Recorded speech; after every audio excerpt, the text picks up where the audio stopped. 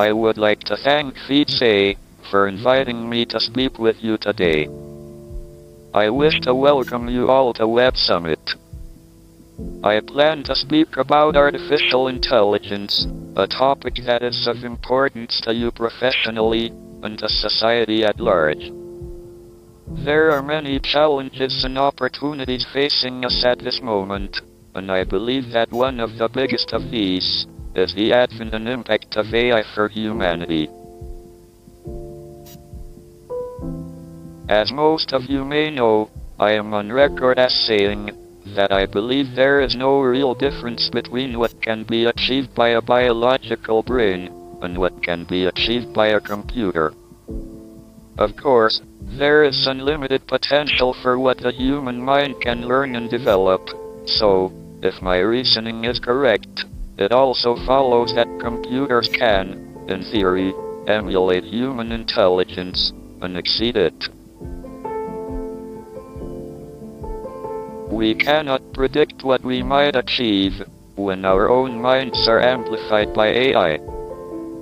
Perhaps with the tools of this new technological revolution, we will be able to undo some of the damage done to the natural world by the last one, industrialization. We will aim to finally eradicate disease and poverty. Every aspect of our lives will be transformed. In short, success in creating effective AI could be the biggest event in the history of our civilization, or the worst. We just don't know. So we cannot know if we will be infinitely helped by AI, or ignored by it, and sidelined, or conceivably destroyed by it. Unless we learn how to prepare for, and avoid, the potential risks, AI could be the worst event in the history of our civilization. It brings dangers, like powerful autonomous weapons, or new ways for the few to oppress the many.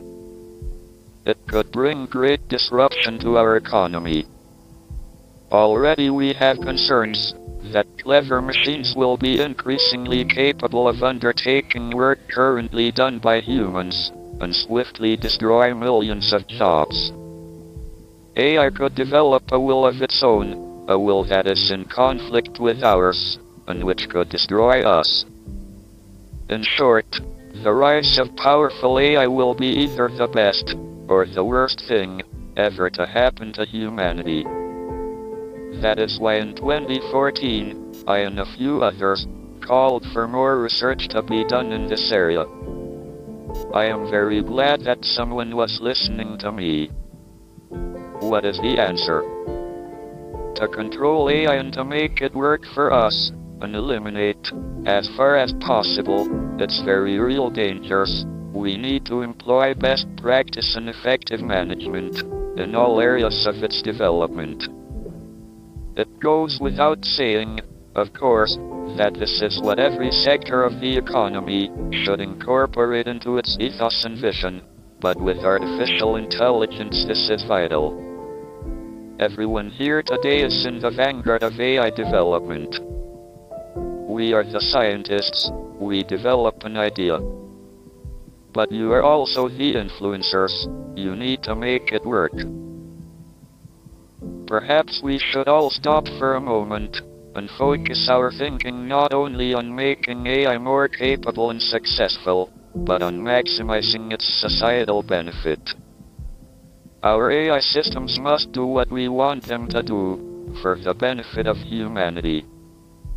Interdisciplinary research can be a way forward, ranging from economics and law, to computer security, formal methods, and of course, various branches of AI itself. Such considerations motivated the American Association for Artificial Intelligence's presidential panel on long-term AI futures, which up to recently had focused largely on techniques that are neutral with respect to purpose. However, in January this year, MEPs called for more comprehensive robot rules, in a new draft report concerning rules on robotics, and citing the development of AI as one of the most prominent technological trends of our century. The report calls for a set of core fundamental values, an urgent regulation on recent developments to govern the use and creation of robots and AI. Somewhat surprisingly, this includes a form of electronic personhood to ensure the rights and responsibilities for the most capable and advanced AI. One of the partners at the multinational law firm, Osborne Clarke, says that we don't give whales and gorillas personhood, so there is no need to jump at robotic personhood. But the wariness is there. The report acknowledges the possibility that within the space of a few decades, AI could surpass human intellectual capacity and challenge the human robot relationship. Finally, the report calls for the creation of a European agency for robotics and AI that can provide technical, ethical, and regulatory expertise. If MEPs vote in favor of legislation, the report will go to the European Commission, which will decide what legislative steps it will take. I am an optimist, and I believe that we can create AI for the good of the world that it can work in harmony with us. We simply need to be aware of the dangers, identify them, employ the best possible practice and management, and prepare for its consequences well in advance. Perhaps some of you listening today will already have solutions or answers to the many questions AI poses.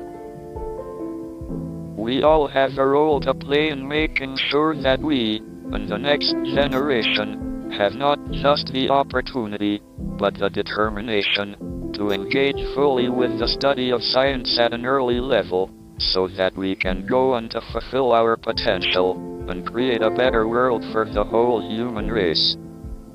We need to take learning beyond a theoretical discussion of how AI should be, and take action to make sure we plan for how it can be. You all have the potential to push the boundaries of what is accepted, or expected, and to think big. We stand on the threshold of a brave new world. It is an exciting, if precarious, place to be, and you are the pioneers. I wish you well. Thank you for listening.